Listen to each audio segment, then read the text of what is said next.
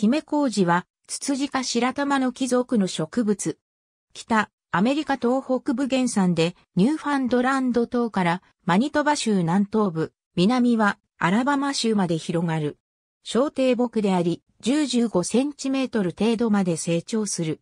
葉は卵型もしくは楕円型で、長さ2-5センチメートル、幅1-2センチメートルほどの、はっきりした冬、緑油の香りを持つ常緑ののものをつける。花は白い鐘型で、長さ5ミリメートルほどになり、一本咲き、または短い総状花序である。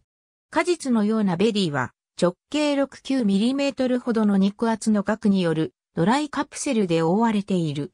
嫌石灰植物であり、松林や広葉樹林の酸性土壌を好むが、一般的に日当たりの良い地域でのみ果実をつける。また、しばしば、オークヒース林のヒースコンプレックスでも育つ。地表の20から30ミリメートル以内に長い地下茎が広がる。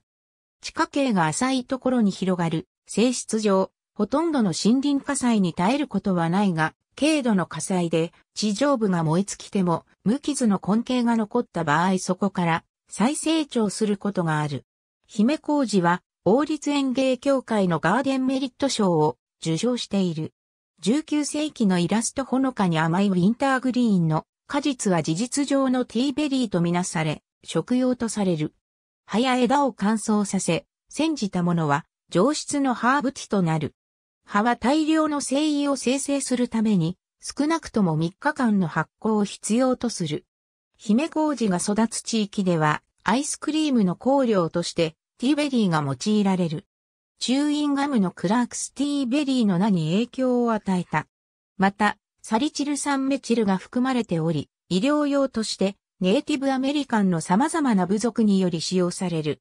ヒメコウジは野生生物にとって大量ではないが定期的に摂取される重要性な食料源であり、冬に実をつけ、また常緑の植物の一つである。オジロジカは姫麹のワカメや若葉を食し、重要な冬の食料源となっている地域もある。他にも、七面鳥、細来鳥、コリンウズラ、高麗生地、アメリカグマ、白足ネズミ、赤ギツネが、姫麹を食料とする。東部シマリスの鉱物であり、葉は、バージニア州における東部灰色リスの数少ない冬の食料源である。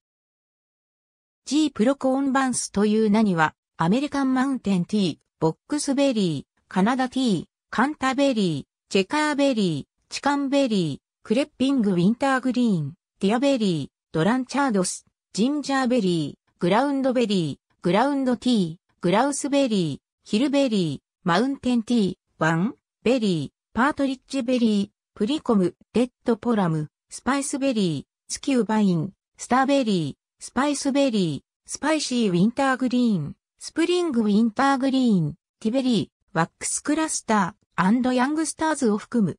partridge berry としても知られるが、その名はしばしば、グラウンドカバーのツルアリドオシ属に属する、 Mitchella repens を指す。ありがとうございます。